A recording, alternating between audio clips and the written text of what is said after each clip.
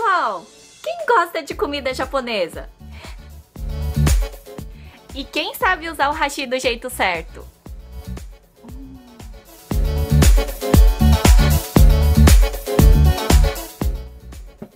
O uso correto do hashi na cultura japonesa, ela demonstra o seu respeito para com a comida e com quem preparou o alimento.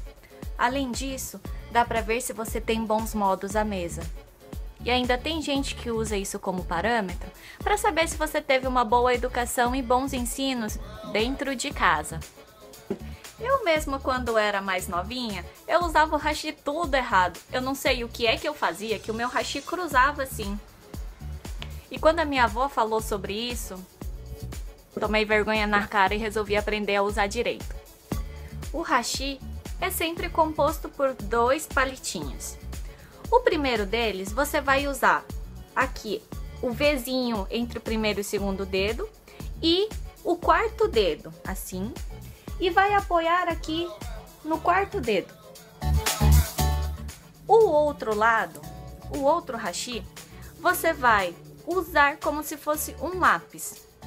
Vai segurar com seus três dedos desta forma e o movimento que será realizado é para cima e para baixo. Então, quando a gente junta os dois, acontece isto. E um outro detalhe muito importante na etiqueta do uso do hashi na mesa, que muita gente não sabe, é o quanto você suja o seu hashi. Quanto maior a ponta de sujeira aqui do seu hashi, quer dizer que com menos cuidado você comeu a comida.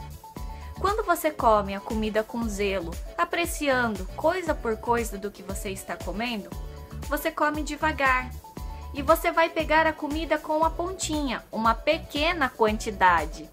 E isso você vai levar à boca e não vai enfiar até lá no fundo da goela. A primeira vez que eu fiquei sabendo disso, eu fiquei morrendo de vergonha, porque a pessoa que me falou tava com um tanto assim, ó, só essa pontinha aqui do hashi sujo.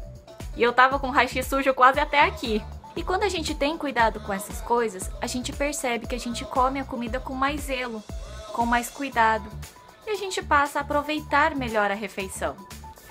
E para você que quer comprar o seu primeiro hashi e não tem prática e não tem a mínima noção de qual hashi comprar, a minha dica é: não escolha o hashi liso, onde a ponta é muito lisinha. Procure comprar de madeira ou de bambu, que seja mais áspero aqui na ponta, porque vai facilitar para você pegar a comida enquanto você não tiver prática mas eu sei que com o ótimo treino que você vai fazer, você vai estar um expert no uso de hashi daqui a pouco.